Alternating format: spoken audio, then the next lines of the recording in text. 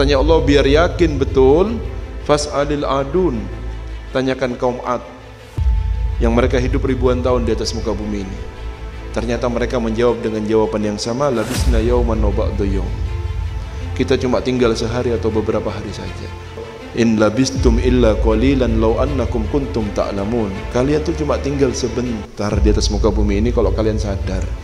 Tapi siapa yang sadar? Jangan terlena.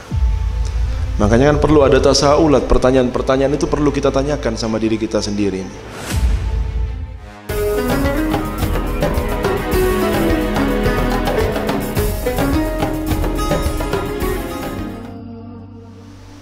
Katanya Rasulullah, "Wa'lamu ketahuilah annakum an qalilin rahilun ilallah."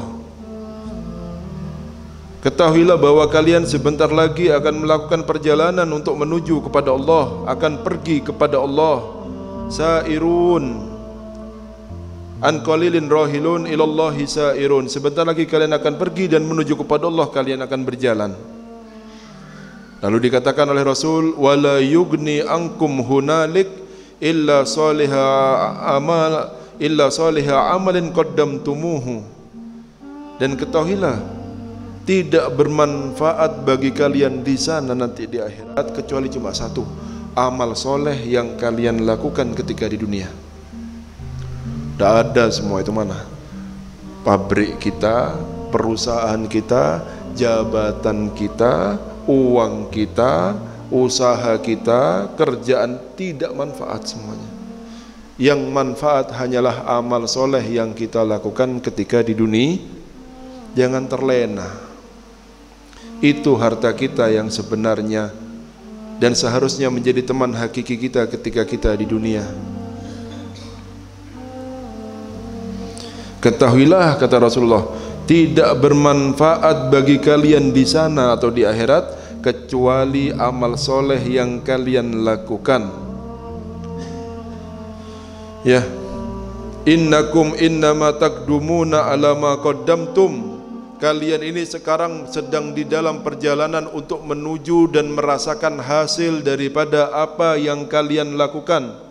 In khairan fa khair wa in sarran fasar kata Rasulullah SAW kalau baik ya sampean akan senang nanti di akhirat. Tapi kalau buruk ya itu buah dari apa yang kalian lakukan. Wa ma rabbuka bidhallamin lil abid. Allah tidak pernah dolim kepada hambanya. Tapi kita yang mendolimi diri kita sendiri dengan banyaknya maksiat yang kita lakukan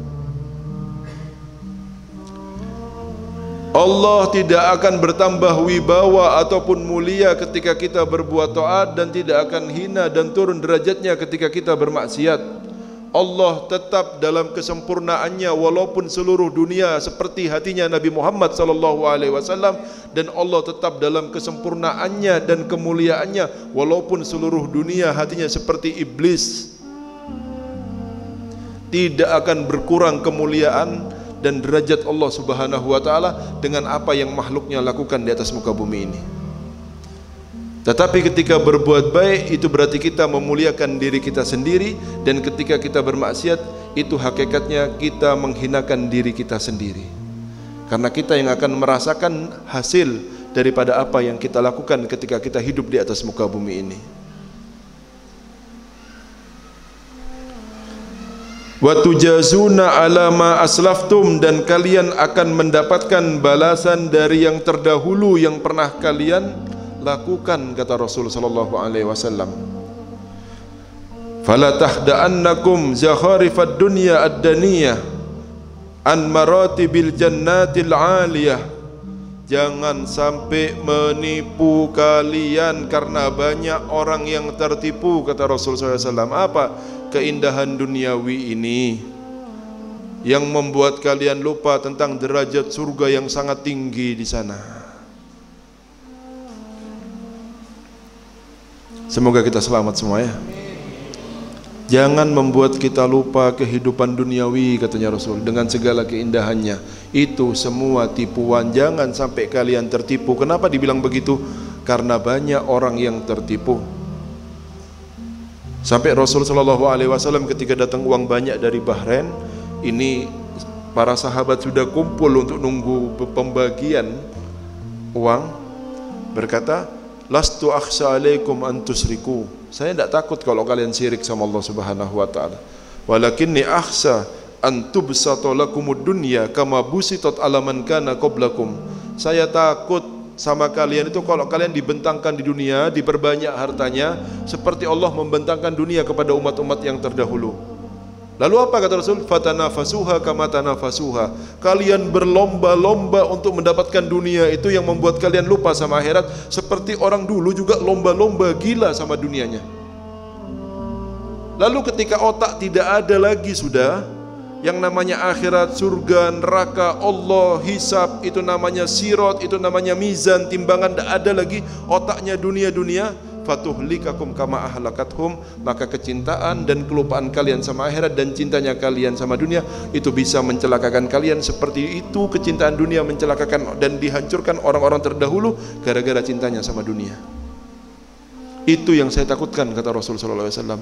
Bukan syirik bukan ini loh dibentangkan dunia sekarang seperti Allah membentangkan kepada umat-umat yang dulu dihancurkan seperti saya takut dihancurkan mereka itu seperti kalian akan dihancurkan dengan dibentangkannya dunia tersebut. Jangan sampai menipu kalian keindahan duniawi yang rendah ini dari derajat surga yang tinggi. Faka'anna qad kusifal kina'a wartafa'al irtiyab katanya. Seakan-akan surga bagi orang-orang yang beriman sudah tampak di depan matanya. Kelihatan. Terangkat dari hatinya semua hijab-hijab keraguan di dalam hatinya. Itu orang yang beriman. Diterangkan surga di dalam Al-Quran dan di dalam hadis Nabi Muhammad SAW supaya kita punya rindu sama surga itu diterangkan neraka di dalam Al-Quran dan dari lisan suci Nabi Muhammad SAW supaya kita punya takut untuk masuk ke dalam neraka tersebut tetapi pertanyakan, kepingin ndak kita ini semangat ndak untuk menggapai surga? Ada ndak? Kalau memang beriman, ya semangat ndak kita untuk masuk surga ini? Atau kita takut ndak sama dosa-dosa kita ketika kita diancam dengan neraka? Kalau kita ini biasa-biasa saja, lah itu perlu dipertanyakan keimanannya. Kok bisa biasa saja? Itu kan ada penyakit berarti dalam imannya. Orang yang beriman pasti nangis dengan dosanya kalau dia memang percaya sama neraka. Orang yang beriman pasti semangat dalam ibadahnya. Kalau memang dia yakin sama sur surganya Allah Subhanahu wa taala. Wala kullu mri'in mustaqarrahu wa arafa mathwahu wa munqalabahu. Seakan-akan setiap orang sudah tahu tempat kembalinya di mana nanti.